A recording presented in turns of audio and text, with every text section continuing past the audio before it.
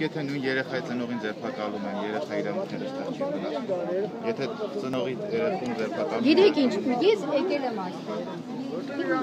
Ծառայական աշխատակիցներ եկել ենք այստեղ այն պատճառով, որտեղ մենք տեսնում ենք երեխաներ։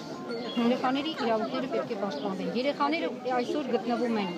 արձակուրդում, իրենց զբաղվածության հարցերով։ Եվ մենք դες կոչ ենք անում, հա, կոչ ենք անում, որպեսզի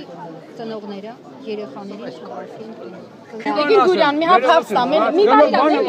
Մի գնացեք, էլի։ Ես անչափահաս երեխայի մայր եմ, որը դուք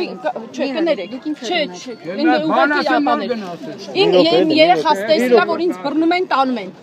անա վազելով եկե հասել աստեղ դուբինգով տվեցին մեշկին ու լավ տեսել եք այդ ամեն ինչը նստանում նստած ինչ վիճակում ու մի հատ ոմն բժիշկ կա գալիս որ անհայտ չգիտենք ով է ինչա, սպիտակ շորերով, երեխան ասում է մեջքը սավա, միակ ինքը մեջքին է հարվածում, ասում է դե բան չկա էլի, ոչինչ, հել գնանք տուն։ Ու այդ երեխան տենում է, որ իր մորը տանում են։ Ինչ կարաք այդտեղ պատասխանեք։ Այդ անչափահաս երեխան նստի տունը, սպասի լացի թե տեսնի իր մաման բաժանմունքից կգա, բանից կգա,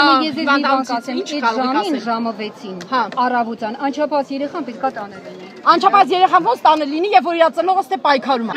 Լավ է ոստիկանը որ տեսնում աղջիկ զավակա։ Դիմաց կանգնած այդ դուբինգ են չի մտածում, ուրա հասցնում։ Չէ, ո՞նց են մտածում։ Հա, Ունեք բողոք։ Այո։ Խնդրեմ,